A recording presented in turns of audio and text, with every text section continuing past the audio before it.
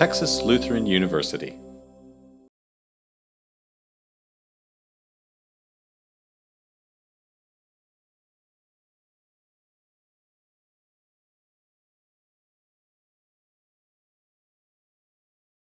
Our speaker today is Brian Bares.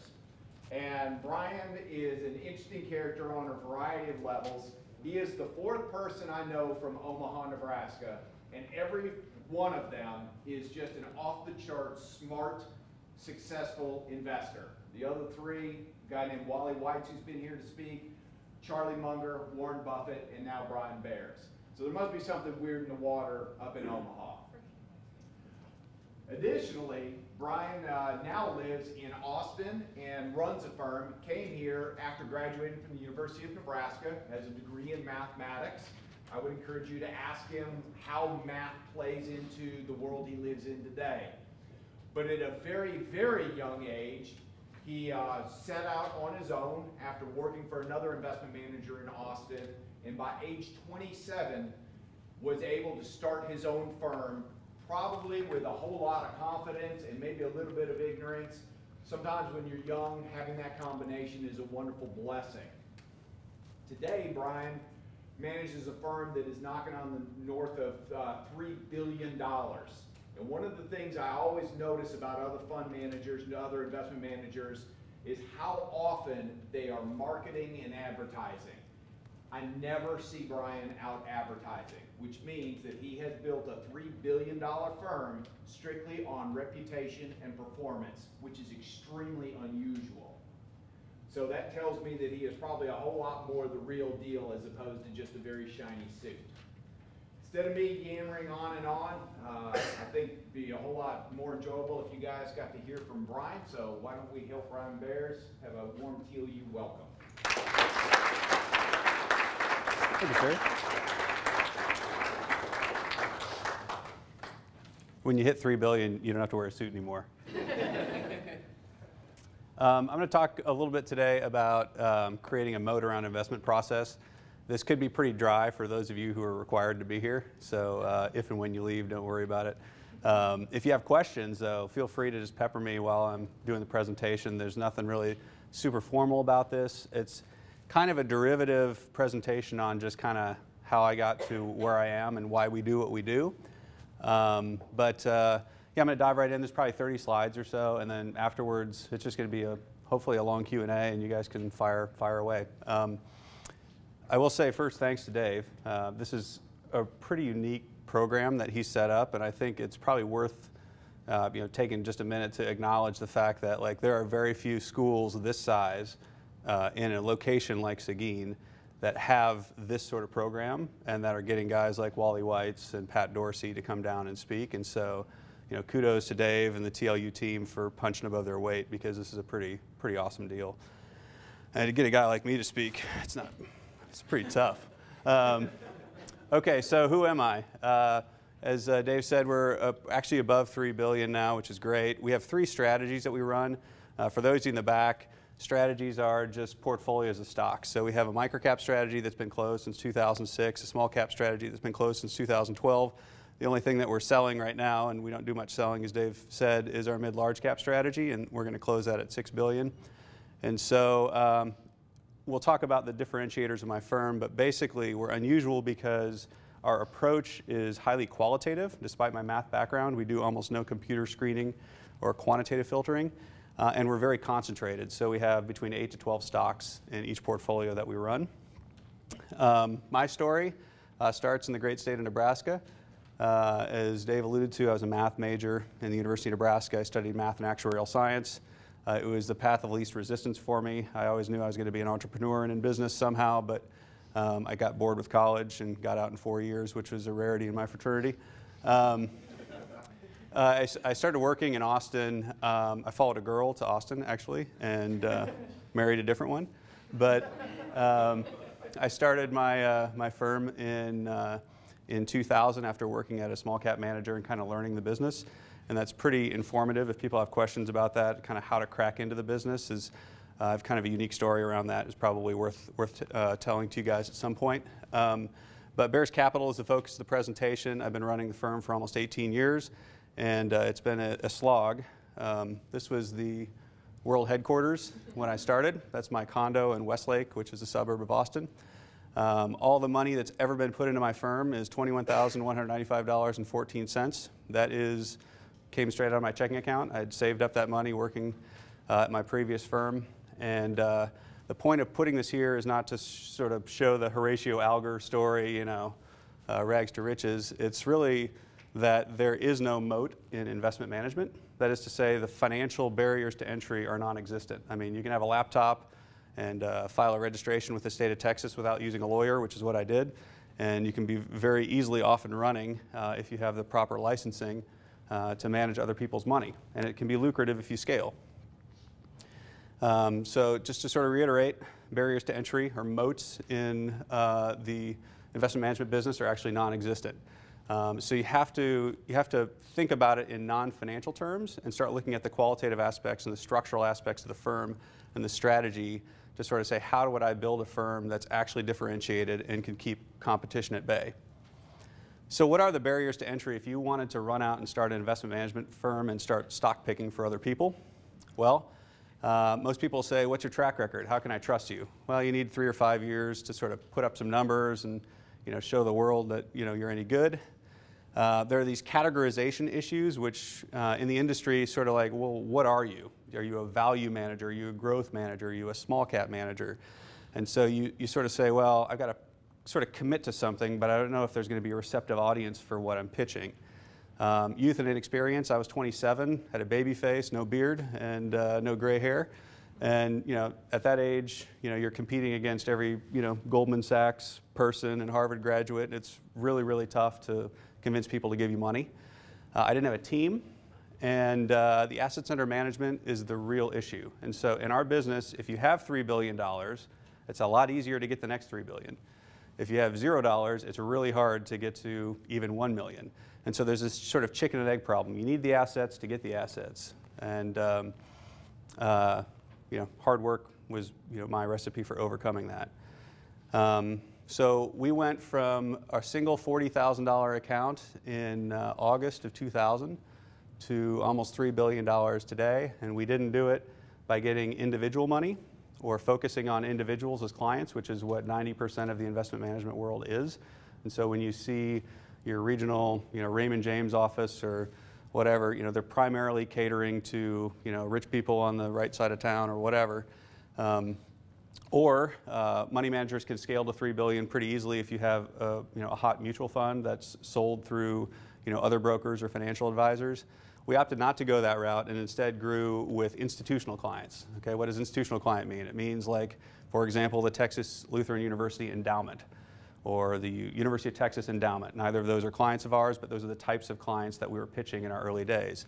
So these large institutional clients will slice up their portfolio and they'll give money to venture capital, they'll give it to real estate, they'll give it to you know, equity managers, public equity managers like us. And so we compete for a small slice of this multi-billion dollar pool of capital. And we found a receptive audience in that client base. And if people want a little bit more color around that afterwards in the Q&A, I'm happy to, uh, happy to do that. Uh, but along the way, we were trying to figure out what's our little you know, secret sauce, what, what could differentiate us uh, you know, coming from this condo in Westlake and competing against all these people in Midtown Manhattan, uh, how can we structure a process to where you know, not only we're different, but it's a, it will provide us with a sustainable edge in investing and produce good results. And so if you walk away from this presentation with sort of two points of, of uh, remembrance, you should remember that we are concentrated and qualitative. That is, 10 stock portfolios, 8 to 12 is the, you know, sort of the real you know, boundaries, but you know, typically there's 10 stocks in the portfolio. That's incredibly concentrated for a typical institutional money manager. If you put money with Fidelity, you know, there's probably 150 to 250 stocks in the portfolio. Uh, we, you know, we step up to the plate, watch a lot of balls go by, and swing hard when we see something we like. Uh, about 60 to 65% of the weight of the portfolio is in the top five names. So if we fall in love with a name, it may be you know, 20, 30% of the portfolio by weight low turnover, which means we don't buy and sell very often. So typically we're holding stocks for five to seven years.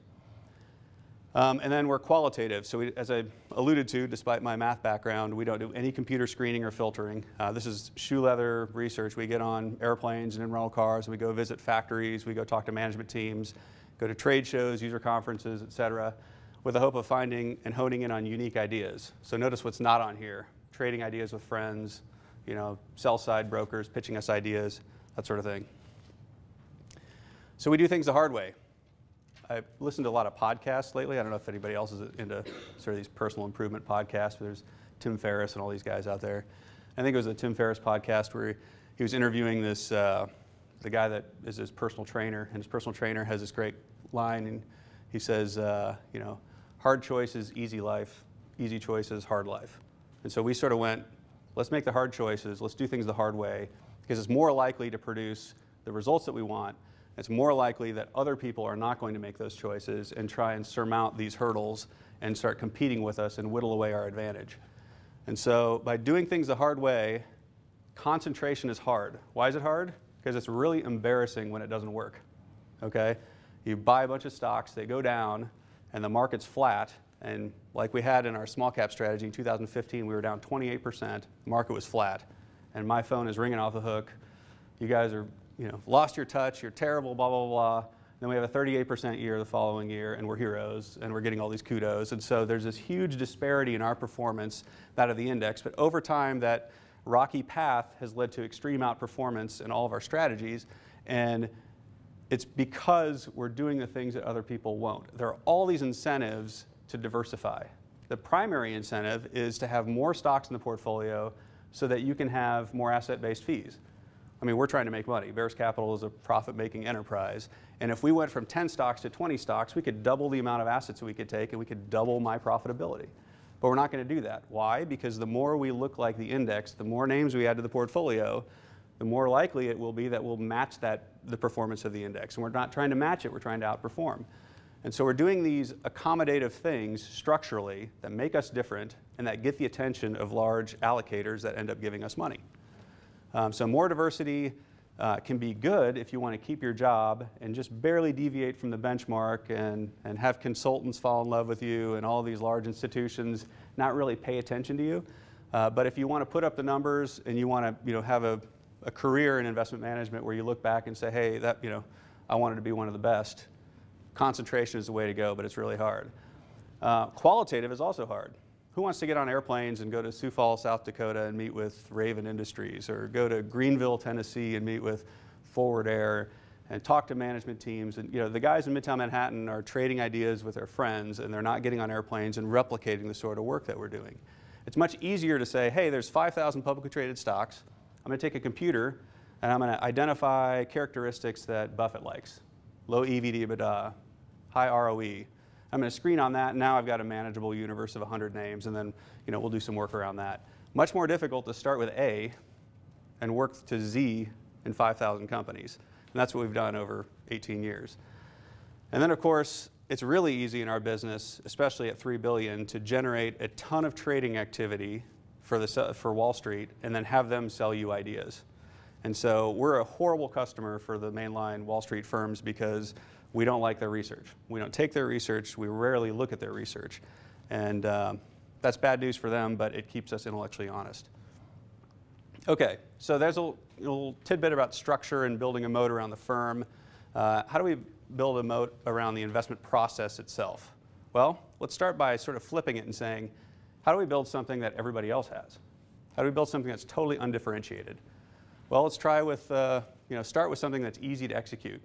How about you know, screening on high ROE. All right, something that's available to everybody. Uh, identify Buffett-like characteristics. You know, it's probably a high return on capital business, probably got good margins, probably got a little moat around it. That's great. Everybody's doing that. And I can tell you right now that there's zero alpha, there's zero excess return available in an approach like that. How about just relying on industry standard tools? Bloomberg, FactSet, Compustat, turn CNBC on, Everyone's doing that. We don't have any of those tools. We don't have any TVs in the office. Excessively diversified, hugging the benchmark. I talked about the increased uh, assets under management that give us more and more fees. You know, everyone's doing that too. And then how about being um, having lacking so much confidence in yourself that you need others to confirm what you're doing all the time. That's super common, even with really smart people from Harvard that have worked at Goldman Sachs. They're constantly calling and saying, Hey, I notice you're a big holder of XYZ. Can I talk to you about why you own it? And I know that what they're really looking for is confirmatory evidence.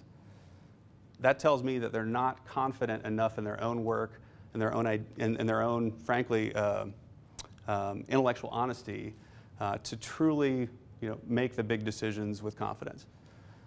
So here's your typical no-moat process and some pictures. You know, you got the you know, eight flat screens up there. There's probably a trading window open. There's some Bloomberg, and then you know, you've got a mechanistic process that you know, shows your potential clients. You've got filter one, filter two, filter three, and then here's your portfolio, which leads to you know, 100 stocks in the portfolio, and you got CNBC and the fast money crowd you know, shouting at you and you know, tugging at your little emotional heartstrings every time you hear your ticker symbol talked about, and it incites you to action and all this excess, excess activity, activity that's um, you know, that's deleterious to your returns. So another point here too is that your investors, if you are investing money for other people, in particular institutions, they want repeatability. They say, okay, you're a smart guy, Brian, and I like this idea that you're pitching me, but how do I know that you can keep coming back and give me idea after idea after idea and produce returns over time? That's what they care about is repeatability of your investment edge. And it's funny, you know, you have these movies, these movies like The Big Short, and they have these one, this one big thematic idea. That one big thematic idea pays off huge for, uh, you know, a Paulson or Kyle Bass or whatever. But relying on those macro calls, you have to ask yourself, well, are those people, you know, equipped to make that next call, and then that next call, and then that next call? And I find that, you know, guessing quarterly earnings, doing these macro calls, you know, sharing ideas with friends, and outsourcing it to the sell side these are things that are not repeatable over time, in my opinion. And I've you know, seen some evidence that you know, the, the, the best coin flipper one day uh, you know, ends up tails the next. So how we built a differentiated process, you can really go one of two directions. You can go this quantitative process, which will give you repeatability, and that's why a lot of investors invest with quantitative managers. And it might be unique. Hey, I've got my own little recipe. I got low EV to EBITDA, low price to book, low price to earnings. I've got all these factors and they backtest well. And uh, I just going to keep, you know, running this process over and over again and uh, let the computer do the work. And that way I don't have to hire a team full of people that want to be the next Warren Buffett. That's a great, you know, byproduct of a quantitative process. Problem is, is you end up with misplaced confidence in the outcome. The very idea of it being quantitative, you start to think, wow, you know, the computer's not wrong. But um, unfortunately, I've seen quantitative processes go awry. My old firm was a quant firm, and I saw it spit out all these weird results where you're like, wow, we're buying Western Digital at 42, and you know, my teenage son could read the annual report and see that it's a totally different company in the future than it was in the past. We're investing on all these historical uh, ratios and data points. You know, we're driving by looking through the rearview mirror, and this is, this is not the way, in my opinion, to produce good investment results. Plus, they're subject to competitive arbitrage. What does that mean? It means I've come across my little recipe for success in, in, stock in the stock market, and uh, I'm letting the computer run it, and then one day somebody that I don't know commits a significant amount of money to that exact same strategy, and its value nullifies through competitive arbitrage in the marketplace. And I don't know it's, until it's too late, and once it's too late, I don't know what's wrong. Um, we opted, obviously, for qualitative. Uh, it can be repeatable, harder to be repeatable, but it can be. Um, you can generate unique ideas. You can go do a bunch of work and you can you know, find these, these little companies in you know, faraway places that people aren't going to visit, and you can do unique work on them. Um, it incorporates non-financial analysis. This is very important. You guys talk a lot about moats in this, uh, in this group, and, and you know, moats at the company level are critically important for us because we, we believe that the moat allows a business to you know, continue to compound in excess of what microeconomic theory would dictate. Uh, the problem with the qualitative strategy is it's hard to communicate, it's even harder to execute, and it requires cumulative experience. So in the early days, we were you know, putting our reps in. We didn't see the entire market. We were sort of starting at A and working through our, our best ideas the best we could with what we had, but it was like drinking through a fire hose every day. Um, and I don't think we really got good at it, frankly, until probably year eight or nine. Uh, but we have to do the hard work ourselves. We can't rely on other people to do it. So obviously, we've gone with the qualitative. and uh, we've committed to formalizing this process. So, our fundamental premise, and it's often forgotten despite its simplicity, is that stock prices over time should mimic per share business value. So, when you buy a stock, you're really buying a piece of a business, and that price of that stock will, over time, absent distributions and dividends and multiple expansions and contractions, approximate the underlying compounding of, of intrinsic value per share. Exceptional share price uh, performance comes from exceptional compounding. Just remember that. And we believe that exceptional intrinsic value compounding can come from three sources moats, management, and under or unappreciated sources of growth. You guys know a lot about moats. Management, it's a harder exercise to evaluate management. I think it sort of comes from reps, doing a lot of pattern recognition, meeting tons and tons of, of, of companies over time and trying to understand who's a charlatan and who's legitimate. And then trying to use your analysis to figure out how a company can potentially grow that perhaps other market participants aren't uh, focusing on. But the important thing here is that these three factors are qualitative, which is why we're qualitative. We're qualitative because the determinants of value over time are qualitative. So, our moat around our investment process is a team. Uh, we have 15 people in Austin. Uh, they uh, have the company credit card and they're on airplanes and in rental cars and they're meeting companies. And um, they're doing that 24 7. And we have ops people that let them do that. And then we focus. We focus on those three things exclusively.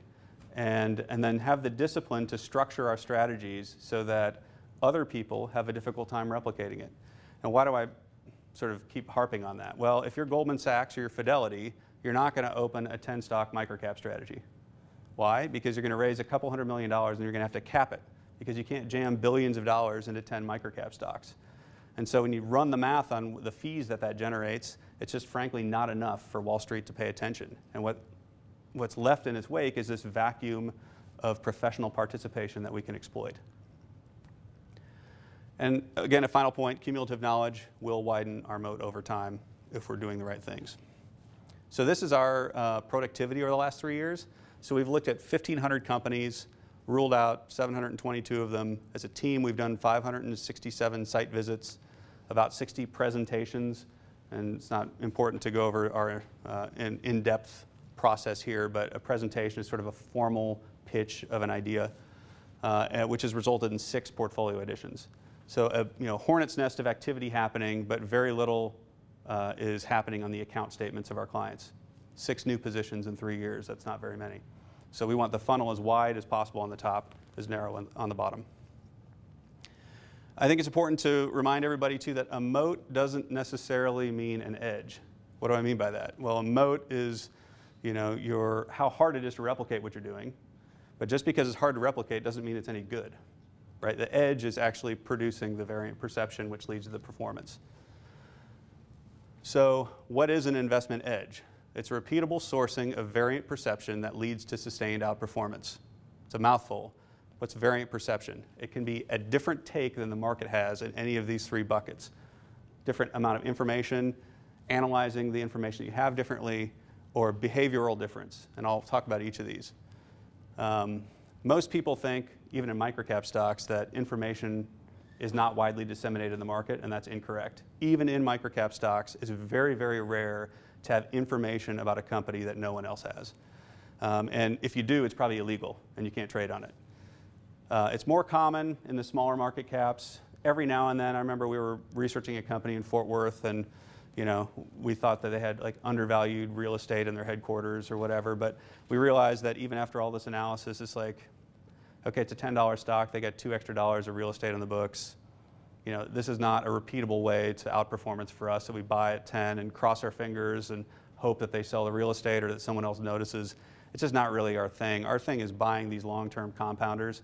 And so, um, you know, the informational, quote unquote, legal informational edges that we've come across in our, our careers um, have always, you know, have, have, almost never been a true source of uh, investment performance for us. Um, it's really hard to have a repetitive process that exploits this. Uh, this is the big bucket right here, analytical. So you have probably the same information that everybody else has, or hopefully more competitive qualitative information. And it's putting that together and trying to make a prediction about the future that's better or more accurate than everybody else's. And this is very difficult, but this is you know the majority of our job and you know why we're paid a lot of money to you know to, to apply our craft. And then um, finally, behavioral. This is it's pretty um, a pretty intense focus of the finance literature a couple of years ago. Uh, this sort of behavioral finance stuff where you know well there's overreactions in the market and you know loss avoidance and all these decision-making heuristics that uh, cause people to do irrational things. Uh, I've seen people brag about this in sales literature.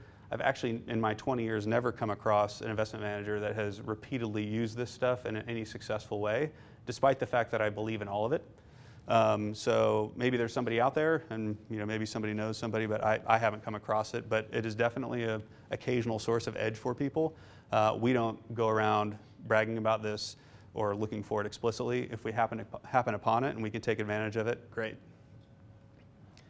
Um, so here are two pillars of a successful investment process. Uh, just building something that's hard to replicate and then creating these sources of variant perception that lead to outperformance. So it's really about that moat and edge. So that's it. That's 33 slides in less than 30 minutes. Um, and I'll talk about what any, whatever anyone wants to talk about. Congratulations on your extra credit. yeah. So when you do find a good company that y'all like, you know, management, how do you value it and decide that's a price you're willing to pay? Yeah, good question. Okay, so most managers use price as an input to their process. What do I mean by that? Well, let's look for cheap stocks and then let's convince ourselves of the quality of those names. Let's start with low PE or low EVD, EBITDA. Um, and you know, rank order our securities or whatever, whatever they do. We think that, especially with a concentrated portfolio, that's a huge mistake. And it's taken me a long time to, to sort of harden this conclusion, and it's non obvious. Um, price is the last thing we look at because we don't want to make a mistake in the business quality or the management quality, because that is going to be the determinant of your, of your success. If you think back to Coca Cola trading at 45 times earnings or whatever in the 1960s, had you paid that 45 times and just held on to it, your return would gravitate towards the ROE of the business the longer you held it. So over four decades, you'd probably still be compounding in the high teens or low 20s. Does that make sense? So if we're going to make a mistake, I want to make a mistake on the price. I don't want to make a mistake on the quality. And so that's why we, we do pricing last. Now we do appraise every single company that we have we, you know, been doing appraisals for a long time, and I'm not here to, to brag about the precision of those appraisals. We don't have sharper pencils than everybody else. What we're looking for is an intrinsic value estimate that gives us a feel as to whether something's expensive, cheap, or, or appropriately priced. Yeah. Since you're uh, qualitative and one of the big one third of it is going to be management, what do you do when a company changes management? That's a great question. Uh, we can do everything from nothing to get very alarmed and sell. And so um, each business has a different reliance on those kind of sliders. You know, some, some businesses we buy, the moat is so big it can sort of, you know, overwhelm a mediocre management. Uh, in some cases, we bought businesses where the management was so good that that was the big slider to the right, and if, some, if there were a change in management at that point, it would probably cause us to sell. So I'd say that you know, moat management growth, there's kind of a slider, you know, sort of a zero to 10 score type of thing on each of those. And we want them all to be 10s, but the reality is, is no investment idea has, you know, perfect scores in each of those categories. And the more reliant we are on management, the more that's a concern for us. But there are some businesses that the moat is so great or the culture is so strong that you know it's sort of plug and play at the top you know based on you know people coming and going the culture just continues to serve up you know fantastic people yeah, yeah. So if they're all on, on sort of sliders, is there one that is, can you rank them almost? Because like if, if, you know, if they were, for instance, if you had like really excellent management and the other two were kind of in the middle there, Mhm. would you still get it? Or if growth was fantastic, but the management and the, and the It's a, it's a super heady question because something that's debated internally at our firm a lot. I, I will say that we don't rank order them per se, but it's hard for a great manager to overcome a bad moat. right? It's ha- it happens all the time, but it's just harder. It's usually better to bet on a really big moat, you know, a great network effects business with a, you know, an okay manager than it is to invest in a great manager with a commodity business. So that's usually the right bet. Not always, but usually. Then again, had you bet on Warren Buffett when you had a commodity insurance company, you would have done pretty well. So, yeah. Um, When you first started, what would you say was your, the hardest part about uh, breaking into the business? And uh, did you have trouble getting people to trust you? Or? Yeah. Yes, it's super hard. I mean, it's just super hard. Um, I was a little. I had probably had a screw loose. Like I was just full of confidence when I was 27, and like, um, you know, at the expense of everything else in my life. My, my wife likes to say when she met me, I had a block of Velveeta cheese and a six pack of Coors Light in my fridge. That was it. I mean, it was like there was, I ate every meal like close to the office, lived up there. I got my car broken into three consecutive Friday nights uh, because I had this just seedy office in South Congress in Austin, and it was above a bar, and like parked my Jeep down there, and like three consecutive Friday nights, I got the stereo stolen. Like the like window broke and the stereo stolen. And because I was at work at two in the morning, I was just, again, I was a little, had kind of a screw loose. And I think as part upbringing, my dad was a, uh, a an eye surgeon, but he was he was a good surgeon, but he was a really good businessman, and brought my brothers and I to the like some of his business meetings early on, and we kind of that's where I kind of got my love for business you know, and started reading the stock pages. And you know, I'm from Omaha. I got obsessed with Warren Buffett at a young age, and and um, and so I just had a real passion for this. And I'm like the rare person you'll meet that kind of knew exactly what I wanted to do when I was like 14 or 15 years old. Um, and so uh, breaking into the business is really hard because 99% of the jobs in this business are sales jobs. And you sort of look down your nose at that because you're a finance major, business student, whatever, and you're like, I don't want to be in sales. And then you realize that's mostly my job too. It's everyone's job. Selling yourself, selling yourself to clients, selling yourself to you know to your coworkers, to your boss, to everybody. So um, I think I've kind of come full circle to appreciate that everything is sales. That being said, you don't want to be the person that's just smiling and dialing for money unless that's your strong suit and you really like it. Um, so actually, when I started the business, I thought, okay, I want to raise 130 million dollars in microcap money, and um, I don't want to smile and dial and, and, look for that money. I just want to like pick the stocks. Like that's that's the fun part for me. And what I realized is like everyone that would give you any significant sum of money wants to talk to you. And so you're going to have to get good at this or you're not going to go anywhere.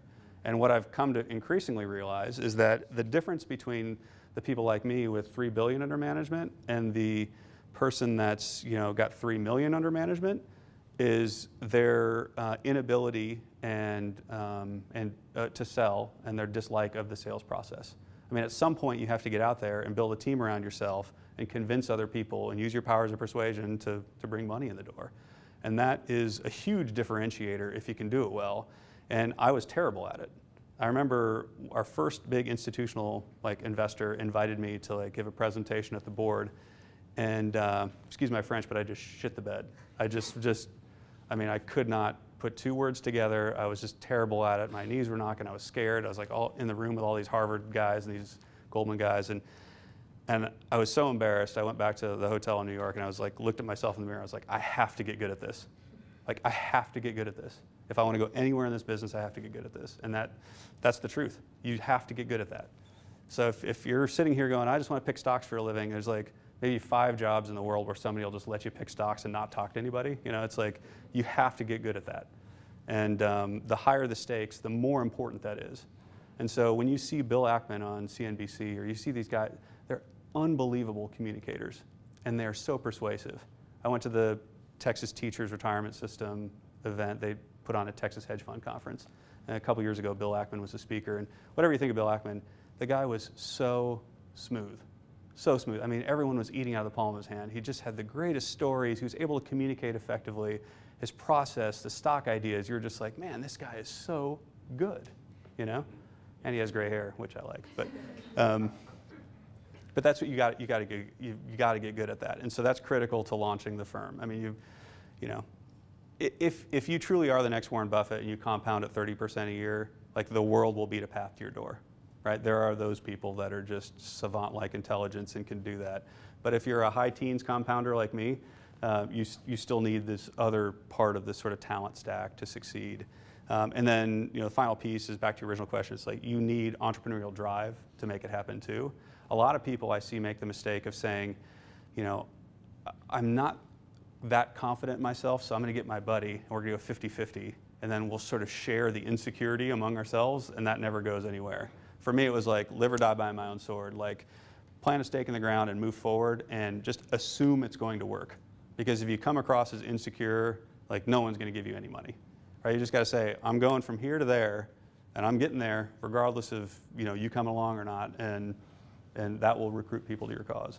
So, yeah. What's the biggest difference in managing your micro cap portfolio as opposed to the large cap portfolio? Well, we charge more in microcap than mid-large, but we have a larger AUM base in mid-large. Um, the game is a bit more, I want to say, professional in mid-large, in that if we're analyzing a company in the mid-large space, we're typically talking to an investor relations person. You know, in our microcap strategy, we'll get a call from the CEO on their way home from work on their cell phone or whatever. Um, and so it's just a different level of sort of uh, interaction. Um, the mid-large space is also full of more moats, I would say. You know, it's like there's a couple thousand microcap companies, and the disparity between you know, exceptional and poor is pretty wide. Whereas, you know, small cap and then mid-large, you get to mid-large, you've probably gotten there because you have some interesting competitive differentiation, and so um, the game is a, a bit harder in mid-large, which is one of, reason, one of the reasons why we charge less in fees. Yeah. So since you're, uh, you were a math major, so you were trained to think quantitatively, but your business is. All qualitative, yeah. So like, how did you train yourself to think that? Because we develop habits of like thinking Yeah. and behaving a way that, that we're taught, right? Yeah. Um, what's there's a quote I think attributed to Charlie Munger where he says, you know, a man with a hammer, every problem looks like a nail, and I think you know, equipped with a math and actuarial science background, it's very seductive to want to rank order your stocks on price to intrinsic value, and you know, sell the top buy the bottom, that sort of thing.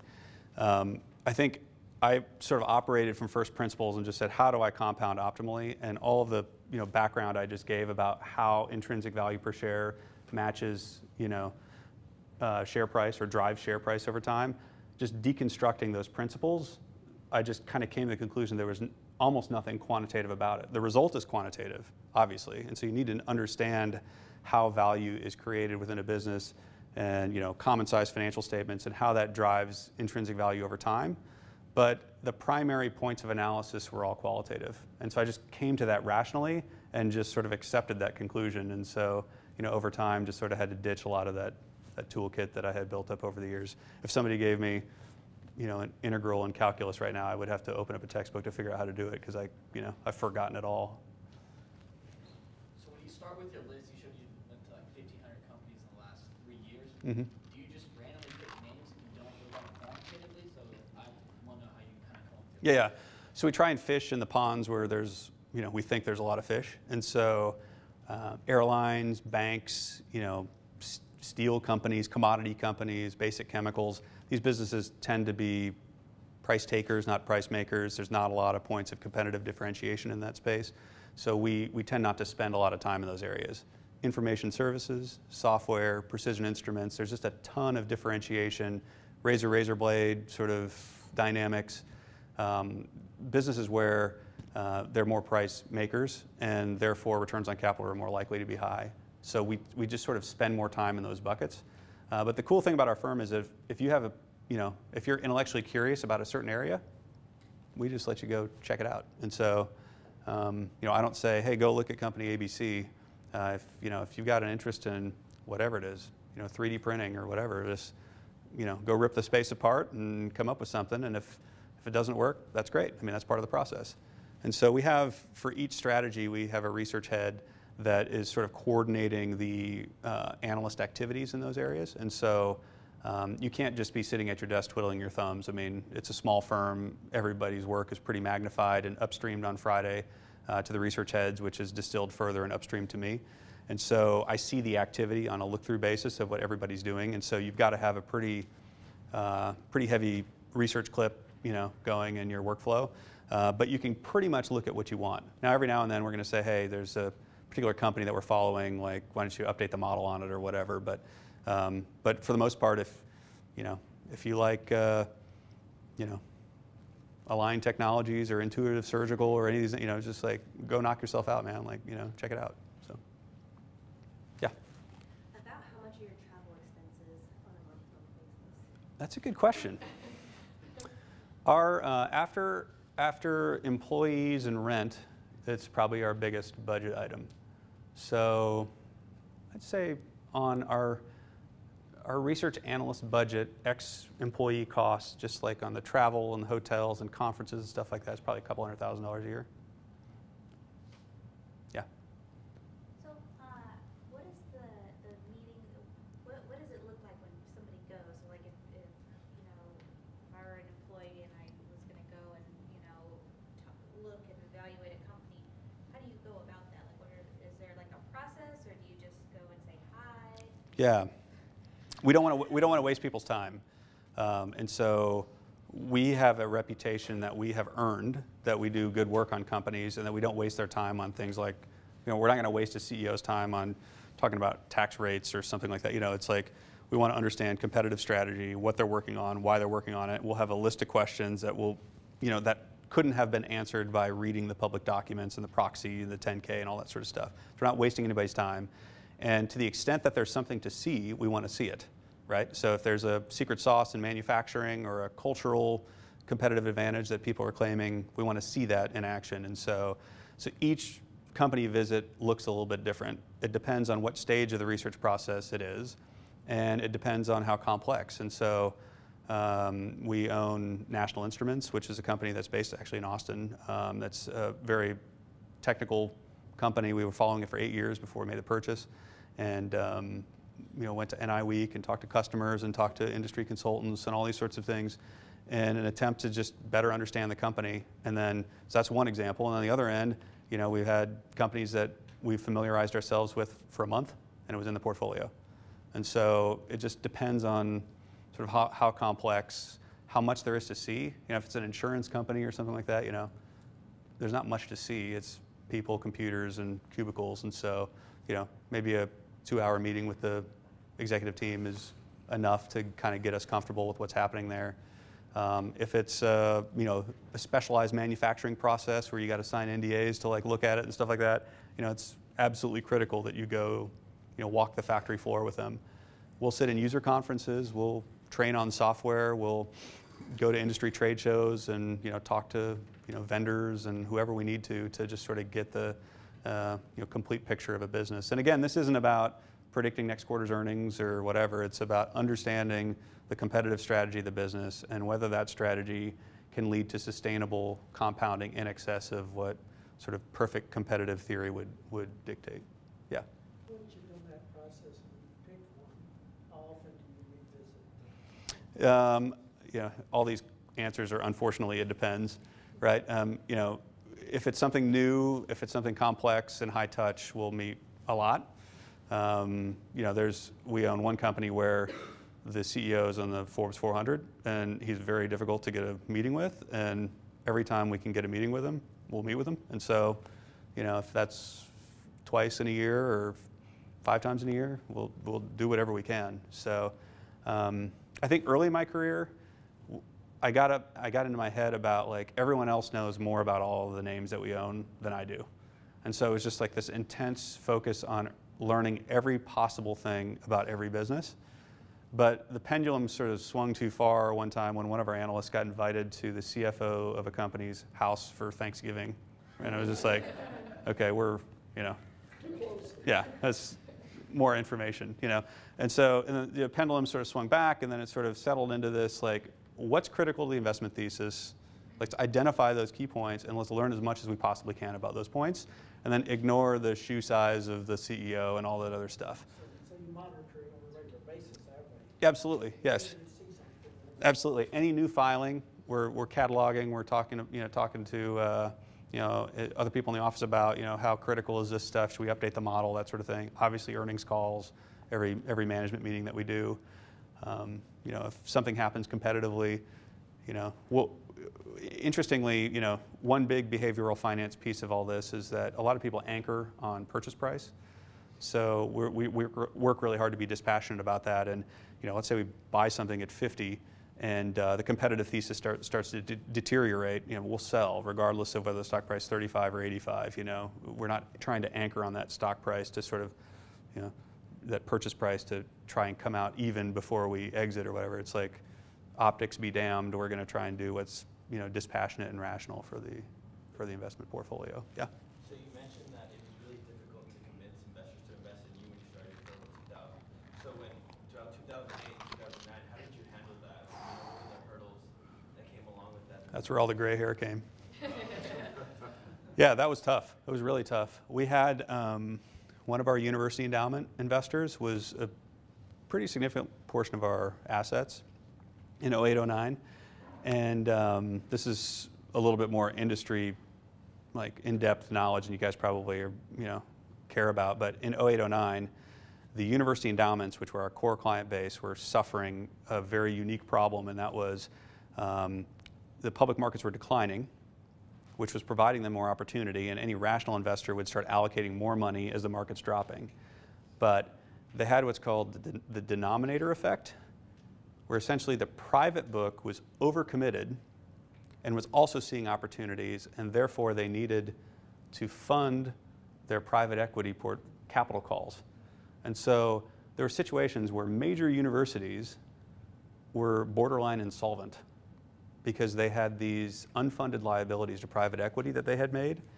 And the only place that they could fund those was pulling from the public markets, so it added fuel to the fire. So in March of 09, as things were just you know, troughing, I got a call from our largest investor, their public equities team, and he said, Brian, we're consolidating around a handful of public uh, equity managers, which means we're firing some people.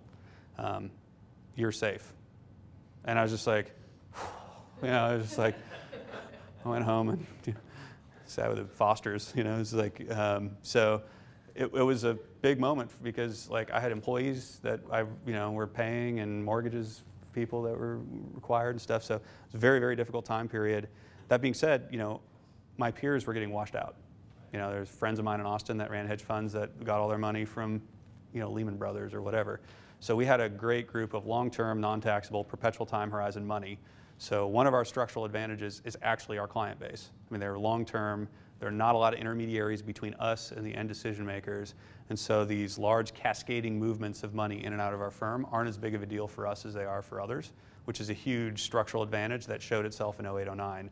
Although that was the 100 year flood for our client base. So it's very difficult. Um, also, a tangential question I get a lot is well, if stuff was cheap in your portfolio, in March of 09 it was screaming cheap, so why not go from 10 stocks to 20 stocks in microcap at that point? And the answer is, is like we don't want to just over diversify for the sake of accepting more money. And we made promises to our investors, we're going to keep those promises. So we stayed at 10 stocks, and people then say, well, okay, well, it was really cheap in March of 09. Why not take more money and just jam them in those 10 stocks? It's like, well, when you own 17% of the shares outstanding of this little microcap stock, you can't put any more money into it. And so we were just sort of locked up. Um, and, you know, it might have frankly saved us a little bit too, because, you know, a allocator, university endowment office is probably looking at us going, microcap? Like, how's he going to unwind all those positions? Like, we can't pull money from him, you know? Let's pull money from the large cap guy. So we probably got a little bit lucky in that time period too, but, you know, this business has always been, you know, two parts really hard work and one part luck. So, yes, ma'am. Keep going.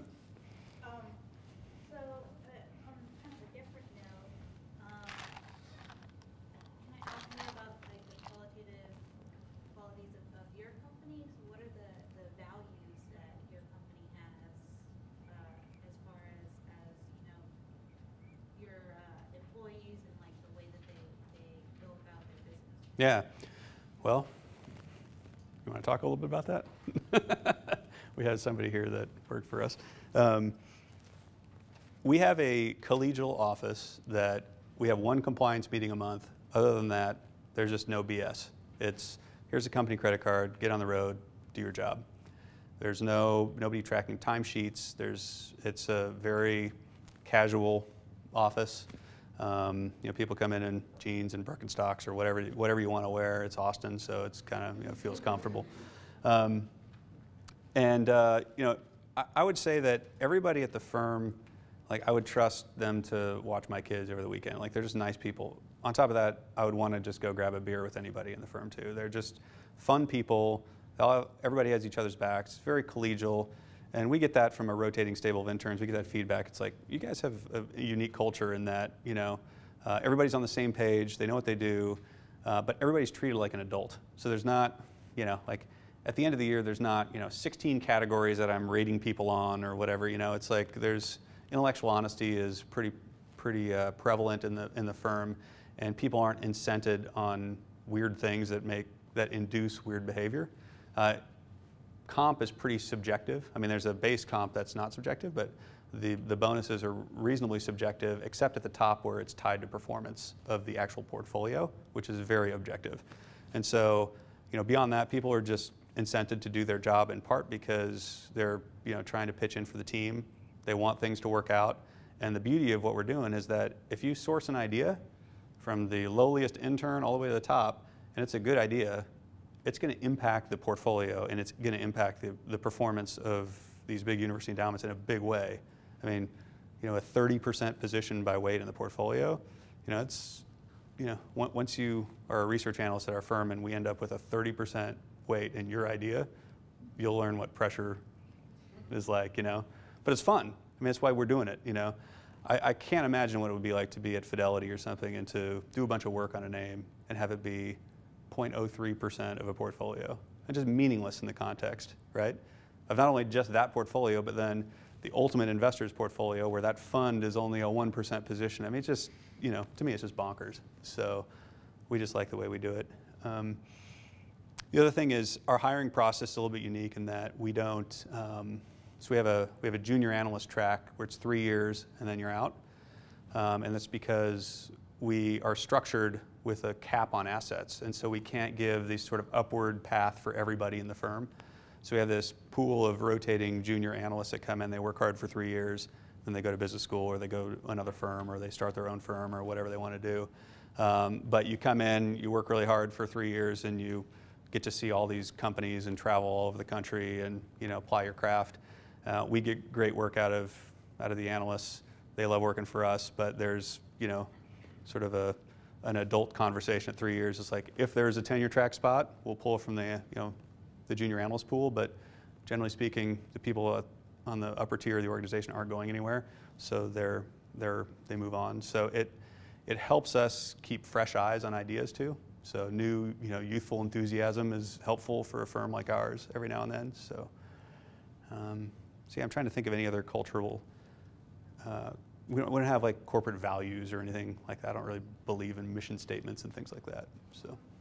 This is a quote, you mentioned intellectual honesty a few times, and uh, I was wondering if you would give us uh, your definition of that. Well, how about this? I'll, here's, here's how I make sure intellectual honesty happens in our organization.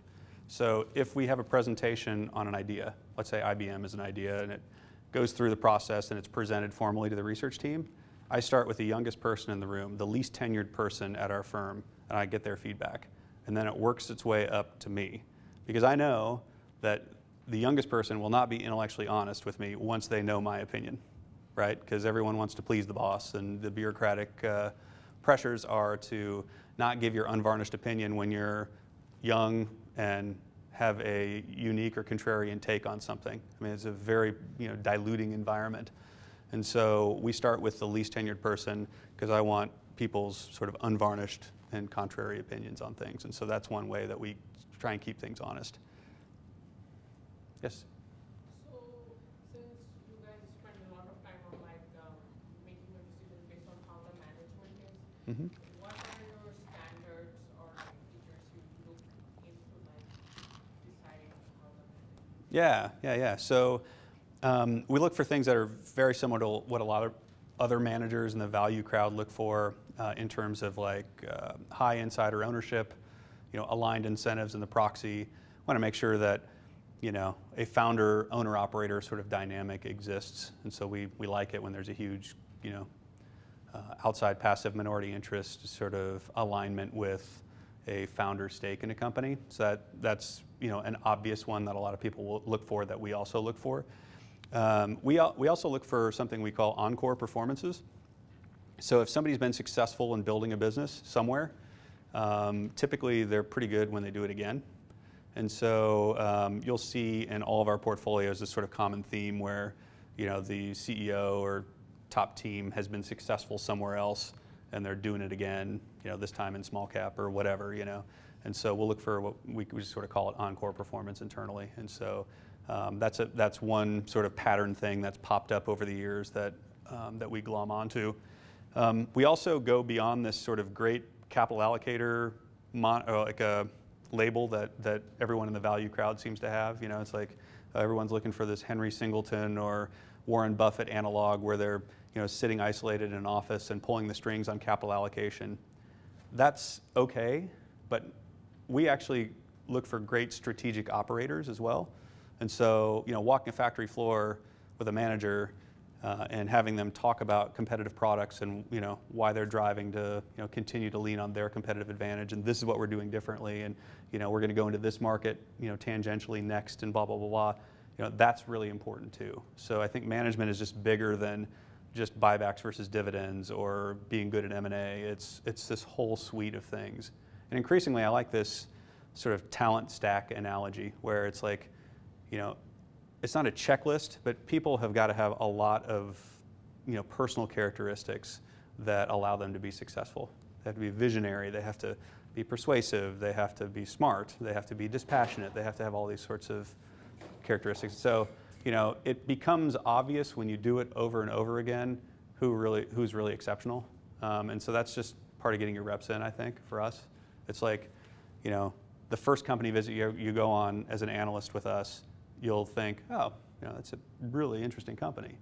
And then you do 10 of them, and you look back in the first meeting, and you're like, eh, it's probably average. And then you do 100 of them, and you look back in the first one, and you're like, I can tell you now that that was you know, good, bad, average, or whatever, just based on this library of information and, and building up the reps and the pattern recognition starting to kind of harden in your brain. Yeah. Can you talk about your sell process? Because I imagine, like you saying you own 17% of some of these smaller caps. How do you go about selling it and do you use options? So no, we, we've never shorted a stock, and we don't own and, and have never owned any derivatives. We are plain and simple common stock pickers, uh, just long only common stock pickers. Um, so there's two parts to that. You know, one is the investment reason for selling, and then two is the actual mechanics of selling. The investment reasons for selling is we'll sell something if it's sort of wildly overvalued, if the thesis is sort of handicapped in some way, um, you know, we've made made a mistake, or if there's just a better relative value trade out there. Let's say something's 150 cents in the dollar, and it's a good business, but there's a better business available at 80 cents in the dollar. We'll sell this one and buy this one. You know. Um, so that's a pretty standard sort of sell discipline slide that probably most managers have. So I don't think we're materially different from other managers, with one exception. That is, we'll tend to hang on to stocks after they've reached our estimate of intrinsic value. For all those reasons I talked about earlier, price being like our least reliable indicator of you know whether to invest and how much. And so if something exceeds our intrinsic value estimate, we'll typically hang on if we really like the name. Um, the actual mechanics of selling, um, mid-large cap is pretty straightforward. I mean, there's a lot of daily liquidity in most of those names. If we take a few weeks to get into or out of a name, that's not a big deal for us. Um, the, the problems are you buy a microcap stock, you're wrong, the stock goes from seven to one, and you own 15% of the company. And in those instances, we've taken nine months to get out of the positions. You know, they call them roach motels. You can get in, but you can't get out. You know.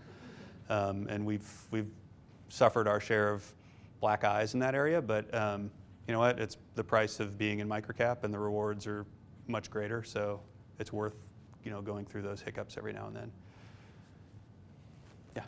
So what do you think like the benefits of living and working out of Austin, or is that kind of a non-factor since y'all are always traveling? Um, so there's good and bad. The, the bad is, you know, everyone goes to New York, and so if you want to be in the sort of deal flow of management teams coming and doing you know, in-office visits with you. I mean, it's much easier to be in New York. Travel is much easier to be in a ma major hub like Houston or Dallas would be much better.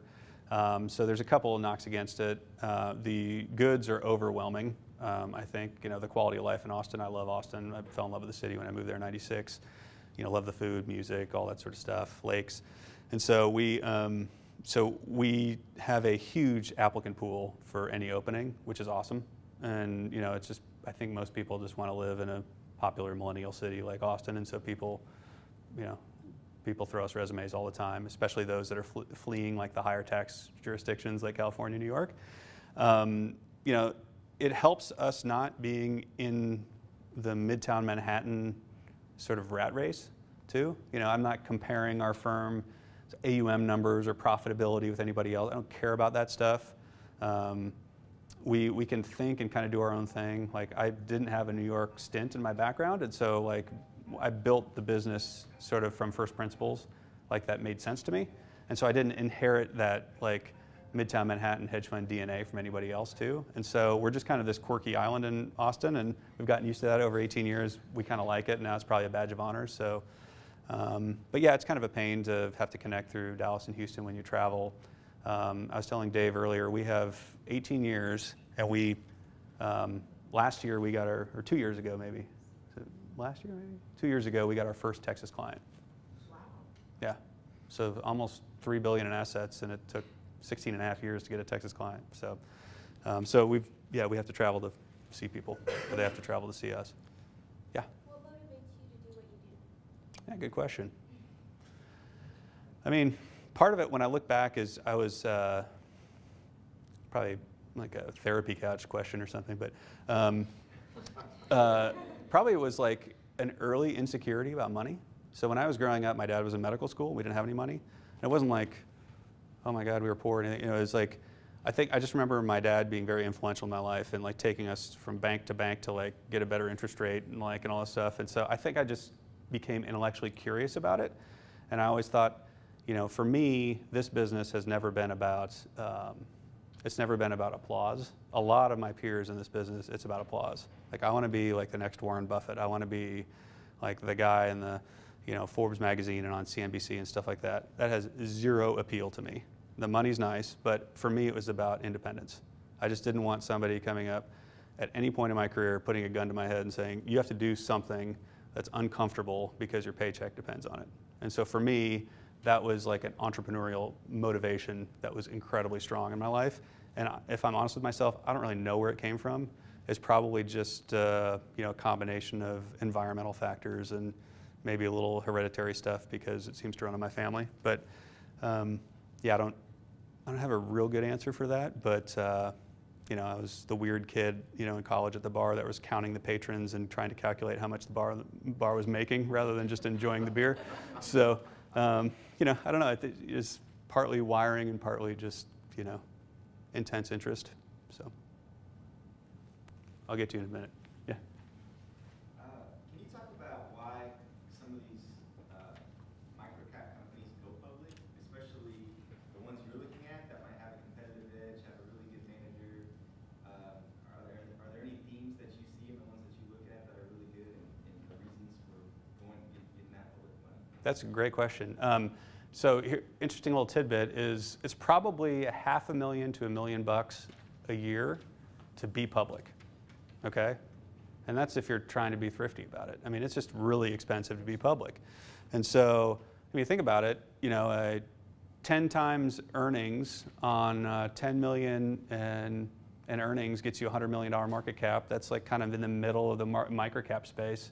I mean, a million bucks a year and in public company costs is 10% of your profits. It's just like, why do it? And the answer is, is most people are not anymore. And so when I started the business, there was like 7,800 companies in the Wilshire 5000, which is the broadest measure of market capitalization from top to bottom. Despite being called the Wilshire 5000, there were 7,800 companies. Today, there's less than 5,000 companies. I think there's like 45 or 4,600 companies now. And all of that shrinkage is coming from the smallest market caps, you know, Dodd-Frank, Sarbanes, all that sort of stuff has come in and it's just making regulatory complexity so great that people are just, you know, it's not worth it to be an $80 million public company anymore unless you have a really good plan for growth and you really needed the capital and there was probably some quirk in your history that made you go public. Um, and then remember that you know microcap is a graveyard for public companies as well. So it could be that they're going out and they're on their way to disappearing. So you know that's a huge drag on the space as well. So um, so yeah, every company's got a different reason for being there. You know, most it's pretty straightforward. Hey, we were public because you know a bunch of employees own shares. They wanted public markets. We maybe needed to raise a little capital. You know, some combination of those things. And um, yeah, if a company's permanently destined to be a $60 million microcap company, probably not worth being public. And there's probably, you know, a hundred firms out there that are private equity firms that are licking their chops to take it public and remove that million dollar line item and put that in their own pocket. Yeah. Keep going. No, no. So you were talking about, uh, you were talking about companies that are roach motel, where you see get Yeah. in, you can't get out. Uh, Could you tell us about one of those? Like, did, he says that you've had some black guys, but can you tell me like? You want war stories? Okay. Um, We'll tell you ours is Bed Bath and Beyond. Bed Bath and Beyond. Bed Bath and blow ourselves up. yeah, we had. Uh, I don't know if anybody ever went on the site. We, we owned Bidz.com. I don't know, B I D Z. I don't know if you remember that. It was like it was like this sort of third-rate like pawn shop jewelry that was sold like in a kind of eBay sort of format. And so we bought it at seven, and it went to one, and um, didn't work out like we wanted. And you know, it's too long of a story to give you the full you know top to bottom on it. But um, yeah, it took it took like nine months to get out of that name. And we actually owned a company. Um, kind of on the flip side, it wasn't a success, but it was a similar Roach Motel, but um, it just didn't do anything. We bought a company called Hawkins Chemical, which is like a, a regional chemical distribution company that was in the upper Midwest. We owned it for a couple years, and it just kind of went sideways, and the thesis didn't really play out like we wanted to. Great little company, but um, but we owned all this. I mean, we owned hundreds of thousands of shares, and it traded like 2,000 shares a day. And I was just like, we're never going to get out of this thing. You know, it's going to be months and months of just 100 shares, 200 shares, 100 shares. And out of nowhere, we found a other side of the trade and we were out of it in like two weeks. And so sometimes that happens. It's just kind of weird. Like you never know when, you know, Fidelity or Vanguard is rebalancing or, you know, wants to be on the other side of, of your transaction. And we're happy to obviously accommodate in those, those instances. Yeah. Since you said you get a lot of like applicants to like work at firm, uh, so what are like some qualities that you guys? Yeah, you know, we, we prefer the fanaticism for our particular style of investing. I think first and foremost is we want people that are on board with us. The people that have worked out the best for us are like, I want to work for you because I've independently come to the conclusions that you've come to. Does that make sense? Like I'm, you know, I was into Buffett, whatever, but I'm just like huge on moats and competitive advantage and you know, all this sort of stuff. And they have like the theoretical basis for why they've gotten to that point you know, whether you got a 3.8 or a, you know, 3.2 GPA or whether, you know, we have people from Princeton, we have two guys from Princeton in our office and we have people from Nebraska or, you know, some random college in the Midwest or whatever, you know, like we have, it doesn't matter where you went to school, um, you need to be smart and passionate and hungry, all that stuff, but it's really, really important that you understand like the theoretical basis for why we're doing what we're doing. And then um, you get turned, turned loose pretty quickly and you can be pr- pretty productive, you know, in pretty short order. Yeah. So let's say you actually hit a grand slam in your small cap strategy, and now something is 10, 20, 30 billion market cap. So it's not necessarily small cap anymore. Yep. Is that reason enough to sell it out of that? Yeah, great question. So obviously, high class problem. Um, and yes, it's happened multiple times, which I'm very happy to say. Uh, yeah, and so um, we don't have an upper bound per se that where there's a, a statutory exit from the portfolio, like the contract says sell. Uh, we have sort of a, an agreement among our investors in microcap that if something gets to about a billion and a half, we'll have some sort of orderly exit from the name. Um, but you know, we'll have conversations around that if there's extraordinary circumstances. We feel like we've got really competitive research. If there's you know another 30% or 50% we see for some reason, there's some catalyst or something, we may just go to everybody and say, here's what we own. It's 20% of the portfolio and it's a billion and a half. We want to own it for another six months. And when you compound at you know 17% for 18 years, like you tend to have the clout at that point to go to your investors and say, hey, we can, you know, we'd like to do this, and they'll be like, yeah, no problem. Um, you know, not so in a you know brand new strategy with you know a shorter track record and no confidence of your investors, but in general, we get to we get to have those conversations and kind of do what we, we, what we'd like to do. Um, in small cap, that number is 10 billion. So in small cap, we're bounded by the the market caps of the Russell 2000, which is I think about three and a half billion on the upper end as of the latest reconstitution. Um, so we'll hold past three and a half billion. Let's say we buy a billion dollar company in small cap, and it graduates past you know three and a half, four, five, six billion dollars. If it gets to 10 billion, it's like it's not a small cap anymore. Let's let's move on. Um, typically, we're exiting before that. We'll wait for some disparity between price and intrinsic value, and we'll sort of take that opportunity to trim it out and move on. We'll still follow it because it may be on limits for mid-large. Um, mid slash large is named as such because we actually don't like that upper bound issue. And so rather than having a mid cap strategy and then a large cap strategy, we just said, all right, we're just going to have a, essentially a mid cap strategy with a no upper bound. So in mid large, we have 10 sort of mid cap ish uh, names with essentially no upper bound. So hopefully we find the next you know, Google or Facebook or whatever, and, and we can ride it to tens of billions or $100 billion or whatever. So, yes? That's a good question. Um, it's hard. I mean, it's a, as much a qualitative as a quantitative exercise. And so it's about understanding, um, you know, sort of the TAM, the tangential opportunities from their core products, and increasingly what the appetite is for the management teams to engage in mergers and acquisitions. So, you know, you look at some companies and it's like, we explicitly want to grow through acquisition. Well, you say, you know, I've read the research, 80% of acquisitions fail to meet their intended synergy targets. Like, that's not a good batting average. And so, let's just avoid acquisitions. Well, you would have missed Berkshire Hathaway, right? Like, probably, you know, archetype one of the best M&A story of all time. So, you know, in my career, I was sort of avoidant of acquisitions generally and kind of came around to it after sort of thinking this through that if you can identify the 20% that do it really well, that can be a huge point of qualitative differentiation and can lead to some of the best long-term compounding stories. There's a, there's a great book out there called 100 Baggers, and it's like the contents of the book aren't, you know, I mean, it's like there's no huge insights in the book, in my opinion, but it's just a, sort of a chronicling of all the companies that have 100 times themselves.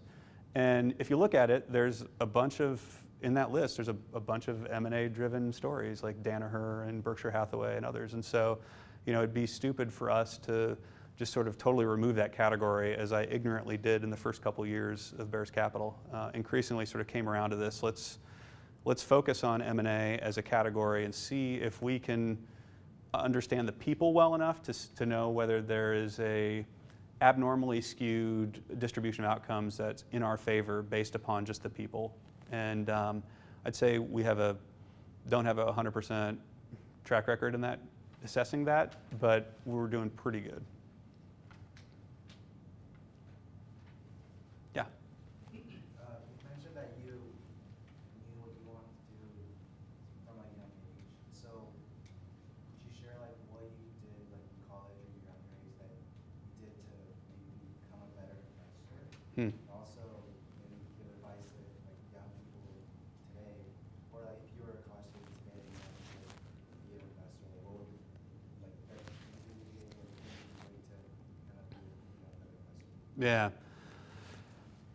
Um, in terms of formative stuff, um, you know, I, I think I was informed by, uh, you know, growing up with sort of garage sale Christmases and stuff like that, you know, and I, I was pretty, as a result, pretty thrifty in my, uh, my sort of early entrepreneur days. Like, uh, I didn't have cable TV, you know, like I said, I, you know, had almost uh, no expenses in the world, including no food in the fridge or anything like that. I was just sort of single-minded about, uh, about making it happen.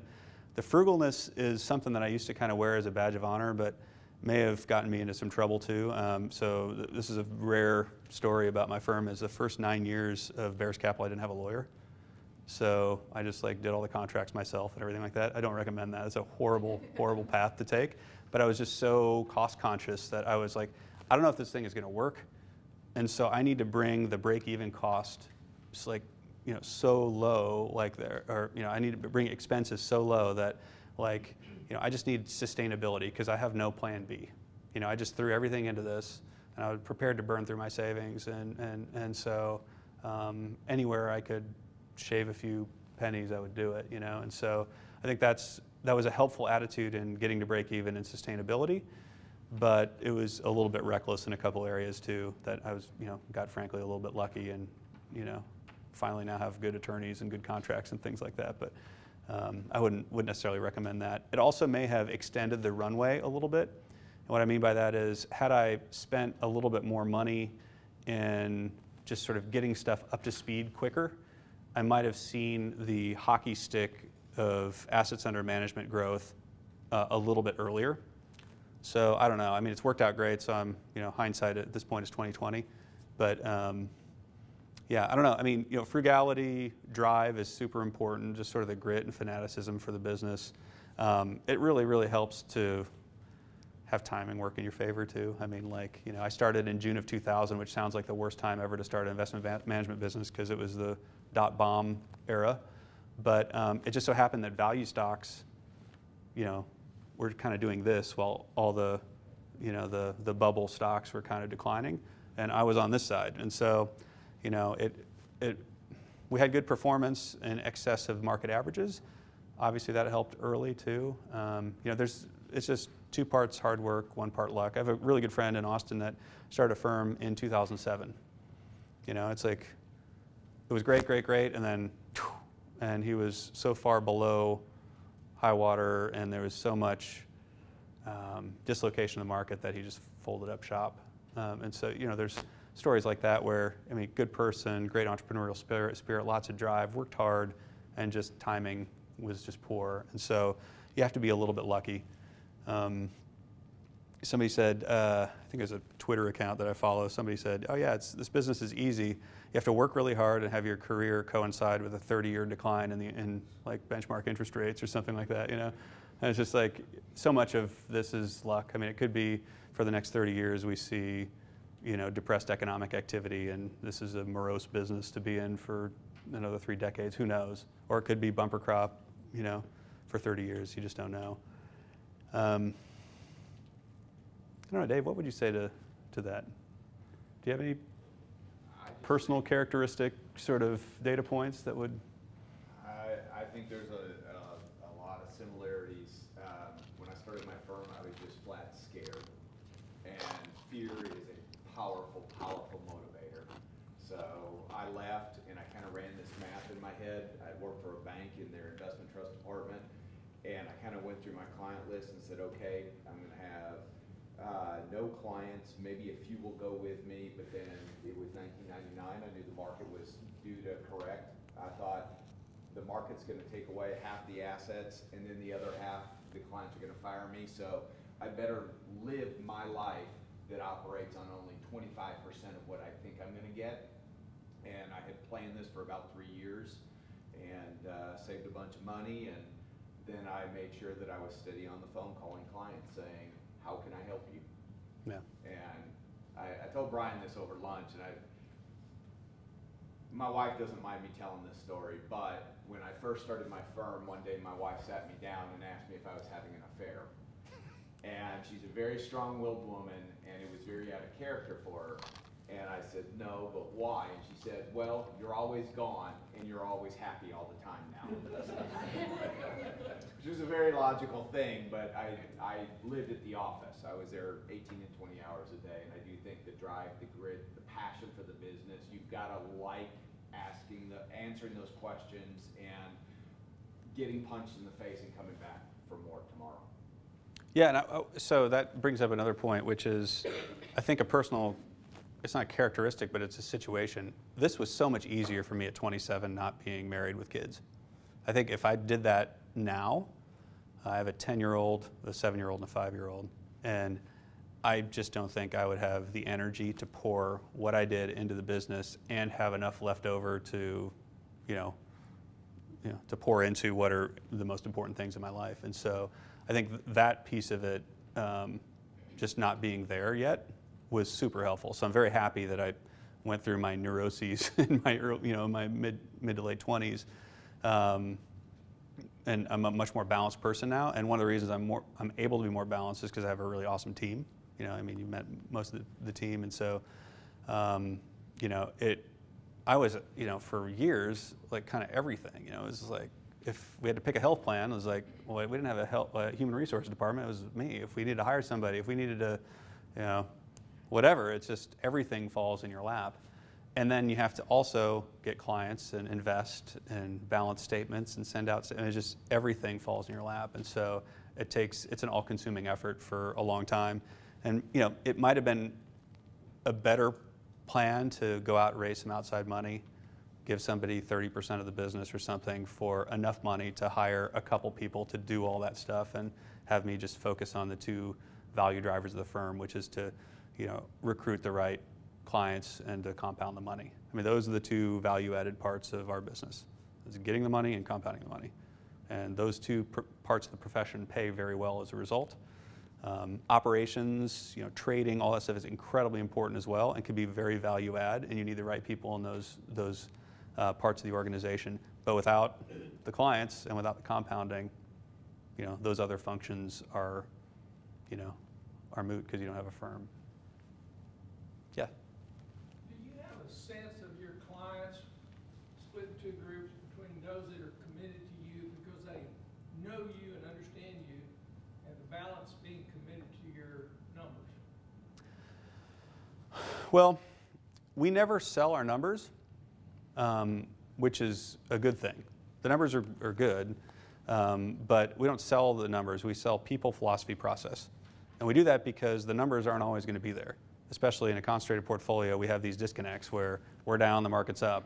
And so if people are focused on the numbers as sort of the lead hook, that's what they're going to focus on all the time. And that's what the conversations are going to be about every month or quarter that you know, the numbers aren't working out for them. And so our best um, results with long-term relationships and clients have been those that have bought into the people, philosophy, and process. And I sort of liken it, I'm a college football fan because I'm from Nebraska, but um, you know, I sort of liken it to just pay attention to the blocking and the tackling and the formations and you know the reps at practice and you know the score should take care of itself.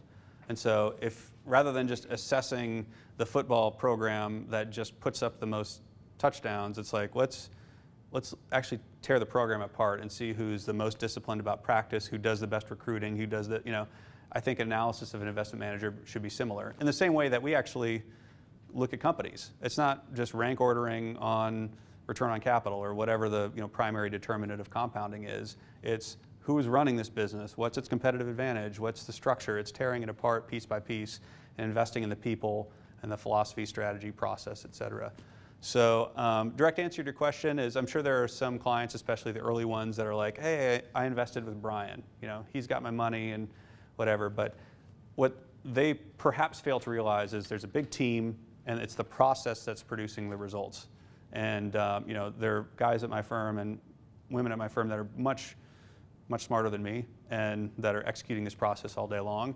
You know, I've helped to create the ecosystem for this to survive, thrive, and evolve. But you know, in general, like the hard work is being done at various levels of the organization within a process that's producing the results. Thank you. Sure.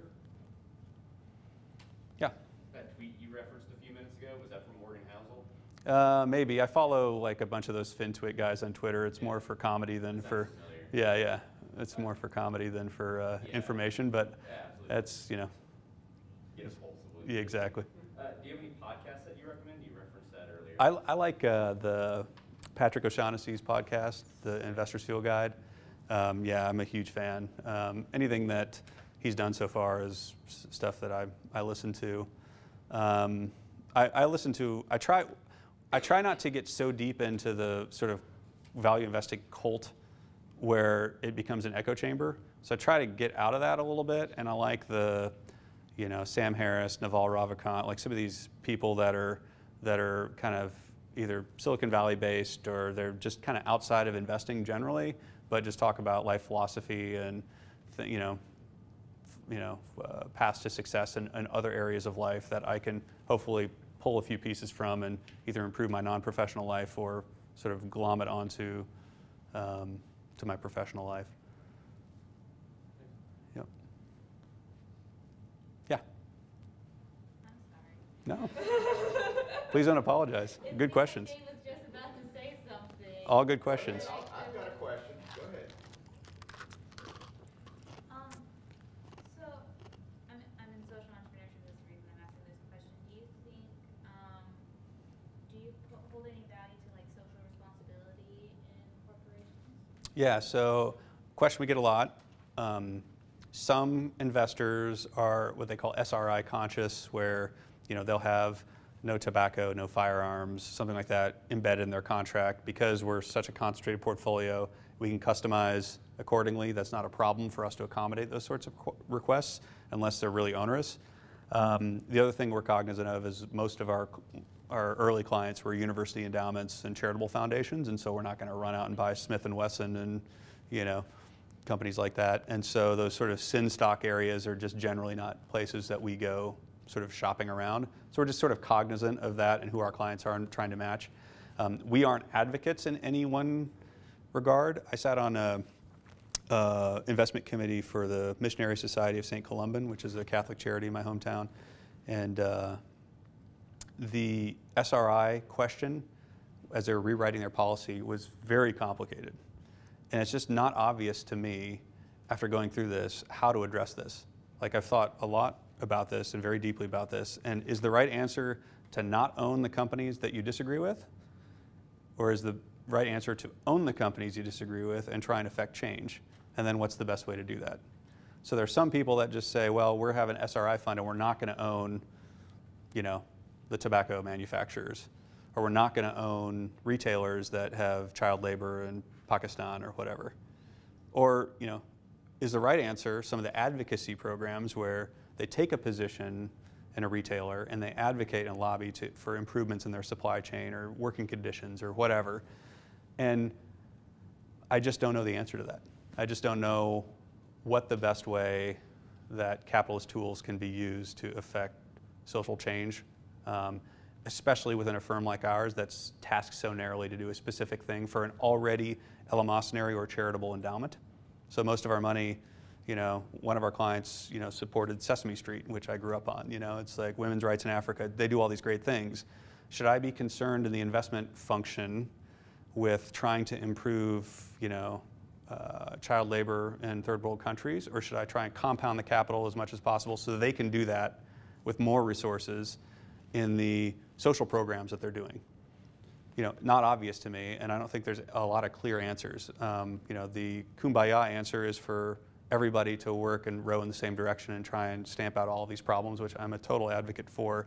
But I don't know if any actions I would take would be, you know, working towards that or against it in, in any sort of obvious way. It's probably a more in-depth question than you wanted to know. But, but I think it's, it's a very difficult question, and um, we're, we're not just washing our hands of this and absolving, why, why can we say, well, it's somebody else's problem? Uh, we think about it. We don't invest in companies that we deem are too controversial. And so that's, you know, we don't have a hard and fast screen, but we'll present something and we'll say, huh, is this a, um, is this something that would be an, you know, an alarming thing for our clients to see in their portfolio? And if the answer is even close to yes, we'll, we just won't own it. Um, we've had instances, we actually, there was a microcap company we used to own that um, made female contraception. Okay, it's like um, not overly controversial, purchased by the you know AIDS organizations around the world, the WHO, distributed you know on behalf of women's reproductive rights in Africa.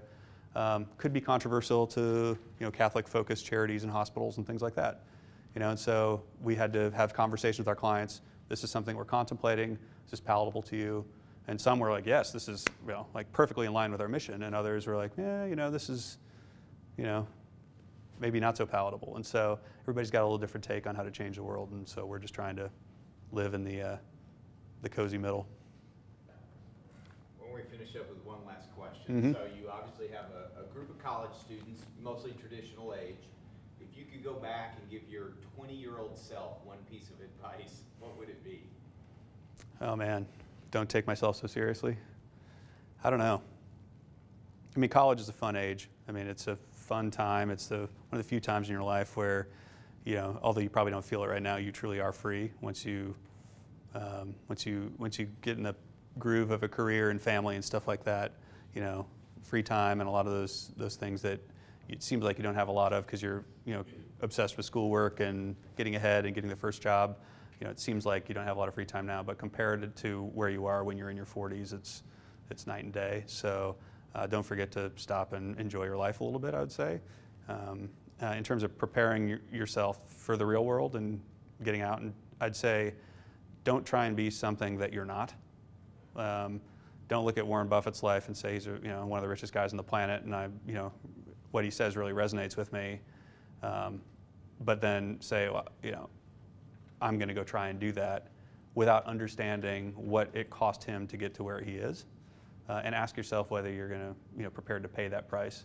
There's a I think T. Boone Pickens is credited with this quote, oddly. Um, uh, life is real easy. Just figure out what price you'd have to pay to get what you want, and then go out and pay that price. You know, I mean, it's pretty simple actually. And I paid a pretty high price just personally, like in, in the early years to get Bares Capital off the ground. And just be realistic with yourself and ask yourself what price you want to pay. I mean, do you want to have work-life balance? Do you want to have all these things that seem like a luxury that are very necessary for you to you know take stock and enjoy you know the journey? Um, you know, if, if you do, entrepreneurship is probably not the right path for you because it's an all-consuming thing, and it's not you know, it's not a smooth line up and to the right. It's really squiggly and circuitous to get to where you want to go. And that's even the hard work is no guarantee of success. And so you have to ask yourself if you've got that sort of grit to get there. And if you don't, that's fine too. Um, just find something that fits your personality and make sure you um, it, it's in concert with your core values. The best I can do. Thank you. For more information, please visit tlu.edu.